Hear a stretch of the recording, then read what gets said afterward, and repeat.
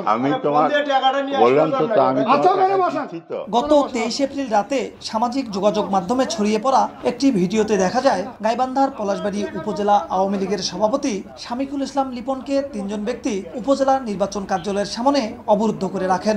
আশ্রয়ন প্রকল্পের ঘর দেওয়ার কথা বলে আট থেকে ন বছর আগে তাদের কাছ থেকে বিভিন্ন মাধ্যমে নিয়েছেন টাকা। সেই পাওনা টাকা না দিয়ে যেতে দিচ্ছেন না তারা। এ নিয়ে চলছে তাদের মধ্যে হট্টগোল।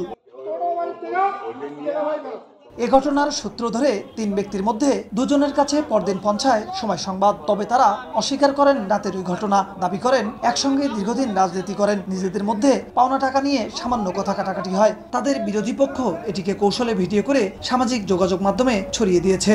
দলপাটি করি তো একটু টাকা পয়সা লেনদেন ছিল।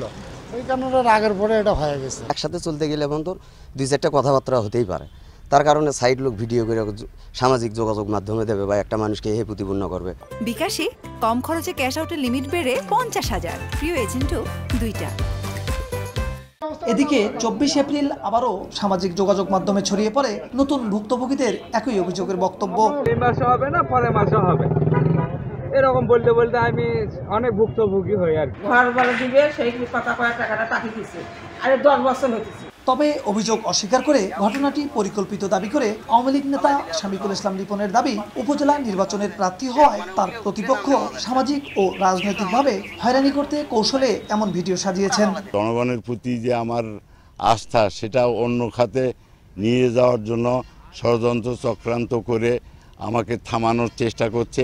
গত বিশ এপ্রিল রাতে উপজেলা আওয়ামী লীগের সভাপতি উপাধ্যক্ষ শামিকুল ইসলাম লিপন উপজেলা পরিষদ নির্বাচনে চেয়ারম্যান পদে মনোনয়নপত্র দাখিল করার পর বের হয়ে আসার সময় উপজেলা পরিষদ চত্বরের নির্বাচন অফিসের সামনে এ ঘটনা ঘটে। বিপ্লব ইসলাম সময় সংবাদ গাইবান্ধা।